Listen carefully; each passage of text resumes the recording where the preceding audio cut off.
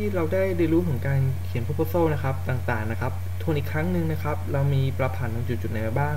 แรกก็คือเรื่องของตัว application application name นะครับและมันในเรื่องของตัว short description user scenario functional non functional component นะครับและรวมเทคโนโลยีที่ใช้การในการแข่งขัน รวมถึงตัว architecture และ user interface นะครับทั้งหมดนี้จะอยู่ในประมาณ 3-4 หน้ากระดาษนะครับ ซึ่งก่อนที่จะผมจะจบ ในการในการบรรยายในวิดีโอชุดนี้นะครับ ผมอยากฝากข้อคิดนิดนึงนะครับ จากอัลเบิร์ตไอน์สไตน์นะครับ จาก imagination is more important than knowledge นะครับ ก็คือจินตนาการสำคัญมากกว่าความรู้ เพราะฉะนั้นอยากให้ทุกคนนะครับมาแข่งขันโครงการนี้มากๆนะครับ ถ้ามีเพื่อนอยากให้เข้ามาร่วมการแข่งขันนะครับ มาช่วยกันคิดนะครับ ช่วยกันแต่งแต้มจินตนาการสารซอฟต์แวร์ให้ออกมาเป็นจริงนะครับ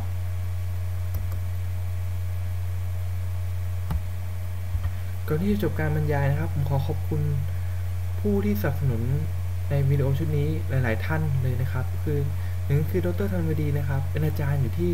คณะ ICT มหาวิทยาลัยมหิดลของผมเองนะครับ ซึ่งสนับสนุนในเรื่องของคอนเทนต์ในสไลด์ในชุดชุดนี้นะครับ แล้วก็ชมรม Microsoft Student Partner นะครับของมหาวิทยาลัยมหิดล และคณะ ICT มหาวิทยาลัยมหิดล และรวมถึงบริษัท Microsoft ประเทศไทยจำกัดนะครับ และ บริษัท In Marketing นะครับ ที่ได้ทำให้มีการให้ผมได้มีโอกาสในการแชร์ประสบการณ์ในครั้งนี้ มีคำถามอะไรไหมครับ ถ้ามีคำถาม อยากให้ไปถามนะครับใน www.microsoft.com/thailand/imagine ครับนะครับ เป็นเว็บไซต์หลักนะครับ หรือเข้าไปในที่ Facebook ของเราได้ที่ Thailand Imagine ครับนะครับ ลองเสิร์ชดูได้นะครับ หรือจะติดตามความเคลื่อนไหวนะครับ ที่ twitter.com/icthai นะครับ และถ้ามีคำถามอื่นๆนะครับ และจะส่ง proposal ด้วยให้ส่งไปที่ icup underscore th at microsoft.com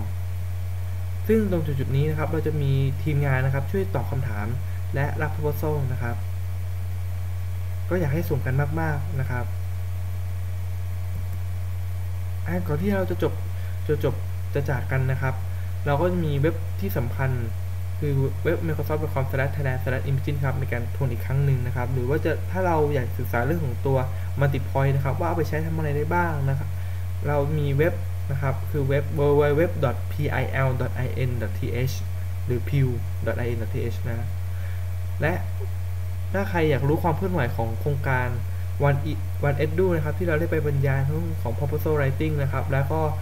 ทาง academic program นะครับ สามารถติดตามได้ที่ www